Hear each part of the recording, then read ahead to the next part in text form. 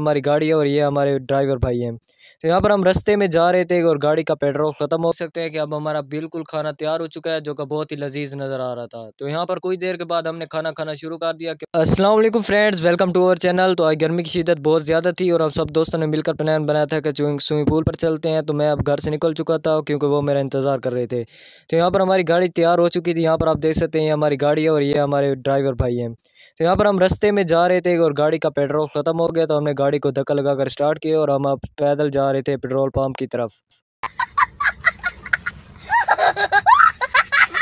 यहाँ पर हमने पेट्रोल डलवा लिया था और हमने अपना सफ़र दोबारा से शुरू कर लिया था। ये सब मेरे दोस्त हैं और मैं यहाँ पर ऊपर बैठा हुआ था। तो यहाँ पर मैंने रास्ते में देखा कि आपको कुछ खूबसूरत से सीन दिखा देता हूँ। यहाँ पर आप देख सकते हैं कि हर तरफ़ हरियाली ही हरियाली है क्योंकि हम शहर से थोड़ा नीचे कच्चे की तरफ़ आ रहे थे।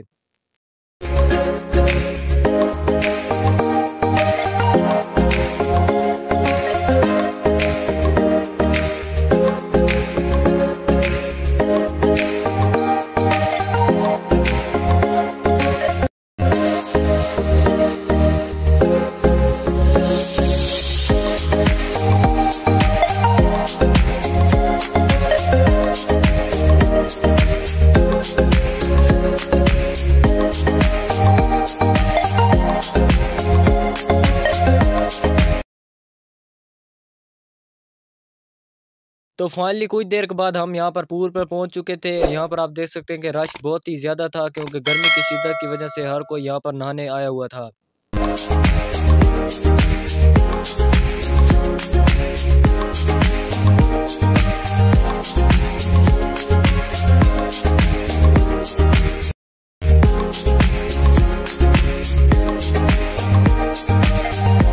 तो थोड़ी देर नहाने के बाद हमें भूख लग चुकी थी तो हमने सोचा अब अपना खाना तैयार कर लेते हैं। तो यहाँ पर आप देख सकते हैं कि प्याज काटे जा रहे हैं और यहाँ पर हमने अपना खाना तैयार करना शुरू कर दिया था।